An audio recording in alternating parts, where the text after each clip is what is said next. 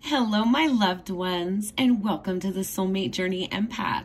This reading is going to be weekly energies for the week of October 12th through October 19th. So, for uh, this week, I was guided to the Stone Aura Quartz. Now, uh, aura quartz comes in many different colors, and essentially what it is is a quartz crystal cluster that has been fumed. And I believe that this aura quartz has been fumed with titanium to give it that iridescent edge. Um, for those of you who resonate with energy from the Pleiades, um, the iridescent um, light is a light code um, that is often downloaded from those that are working with Pleiadian guides. But more importantly, the intuitive message in working with this stone for this week is to see the miraculous in the ordinary, to see um, the multi-dimensionality of every situation this week, that it is not uh, just as it appears that there are many layers, many dimensions, um, just like there are to this reality, to every situation. Okay, so guides, my guides coming through um, to tell us that collectively a power stone for us this week, October 12th to the 19th, is Aura Quartz. All right. So let's get into the messages. We'll be using the Psychic Tarot for the heart. And let's see what our overall energies are for this week. If you have not subscribed already, I encourage you to subscribe. Hit the little notification bell for updates on my newest uploaded content. You can follow me on Facebook and Instagram. That information is in the description box below, as well as the information to schedule a personal reading.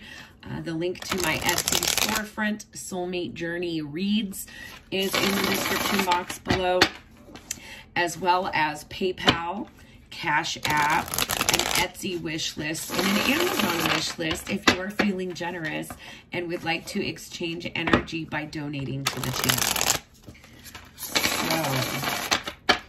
Let's see here. Two more shuffles, they say. This is a good shuffling. Good shuffling. I like the way that the messages are moving smoothly. Seems like much smoother energy than we've had um, the past couple of weeks. So let's see what's coming in for us, all right? What is the overall energy for today? All right. We have the tower coming out for today, Monday. Let's get Tuesday, please. There is Tuesday. We have the energy of the Hierophant. And I'm just going to scoot these things over. Make room for these messages. Wednesday, please. Wednesday, we have the energy of the Two of Wands. Let's go. Thursday, please. Thursday, we have the energy of the Lovers. Friday, we have the energy of the Nine of Pentacles. Let's get Saturday, please. Saturday, we have the energy of the Two of Pentacles. And Sunday, one more message for Sunday. Sunday, we have the energy of the Nine of Cups. So overall, for the week, um, the bottom of the deck energy is the Eight of Wands. This is fire energy. This is fast moving ideas, fast moving thoughts, fast moving communication. You may be working on digital projects this week. Um, true for a lot of us working from home uh, during the coronavirus. So, let's get into these individual energies today. Um, this is Uranus energy coming in with the tower here. And the tower is a card of divine intervention here. It's number 16, major arcana in the traditional tarot, one and six adding to seven.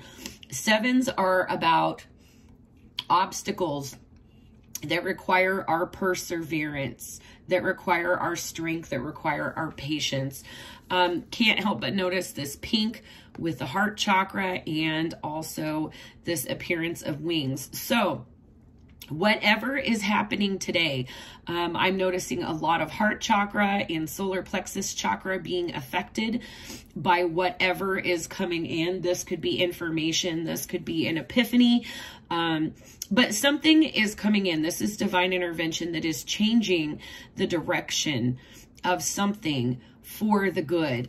It is deconstructing any foundations that have not been built solidly so that we can rebuild those foundations. So this could be any aspect of your life that tower energy may be coming in today. It may change the course that you were going on but this is divinely guided, uh, divine protection, and divine energy coming in there. So for tomorrow, for Tuesday, we have the energy of the Hierophant, Major Arcana, number five. Um, having these energies of the Tower and the Hierophant come in for Monday and Tuesday tells me that there is going to be some shakeup in uh, routine, some new information, some new idea. It doesn't always have to be bad. Um, actually, it's almost always for the good. But there is some lesson being obtained from this, some spiritual lesson happening that is going to solidify on Tuesday. And I love this progression as we go to the energy of Wednesday with this two of wands. This is making a decision. This is having two different paths to go down. Um, but what I'm getting is that this tower moment with this spiritual lesson is really going to be able to help you make the decision um, to proceed on one of two paths here come Wednesday. So for Thursday, major arcana coming back, a lot of major arcana this week. Uh, Thursday, we have the energy of the lovers. This again is about having two paths, a decision to make. Um, and the energy of the lovers traditionally is depicted with this aspect of divine intervention. It's about being in balance, making a choice that is divinely guided. And um, definitely related to a choice. Um, what I'm seeing here is that um, there are basically three energies coming in this week, and some of them are progressing through like a couple of days. So Monday and Tuesday are very connected. Um, Wednesday and Thursday also very connected in terms of a decision. Um, there is a desire to make a decision Wednesday, decision being made on Thursday on Friday, we have the energy of the Nine of Pentacles. This is earth energy, nines being about attainment, being about uh, reflection, about individual energy here. So, Nine of Pentacles is about feeling strong and capable on your own. Um, this could be material.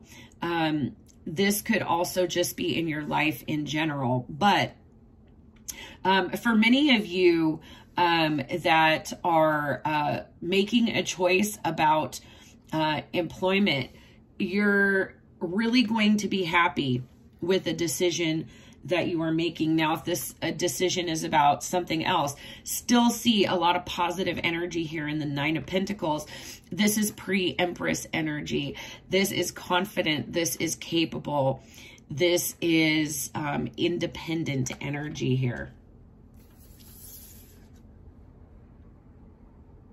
For Saturday, we have the Two of Pentacles energy. This is balancing, having a lot going on and trying to keep your projects, your ideas, your energy balanced on Saturday. Um, for, for many of us uh, working through the week, having the Saturday off, this seems like a pretty busy Saturday for us collectively.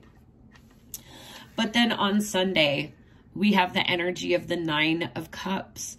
This is beautiful to have these two nines, the Nine of Pentacles and the Nine of Cups. Um, especially because this is the attainment of individual things here with these two nines, okay?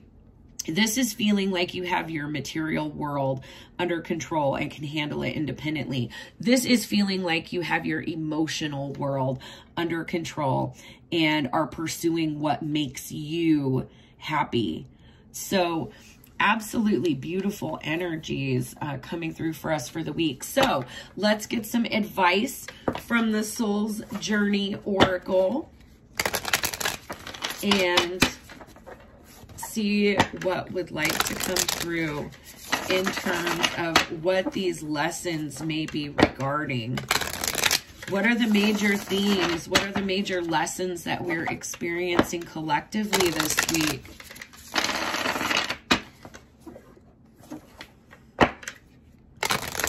And I really love this because I'm noticing as I am looking back at the Aura Quartz with these two nines, um, the Nine of Pentacles and the Nine of Cups is that again you're you're seeing the multidimensionality. You're seeing what is miraculous the multi layers of things and i think that looking at things from this new perspective is going to collectively help us get to these two nines here also um, a audience message from my guides this may be a goal, an objective, a path that you have been trying to figure out since this 9-9 portal.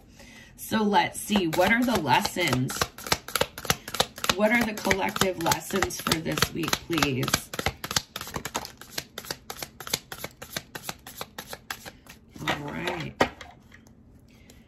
And on the bottom of the deck, we do have forgiveness.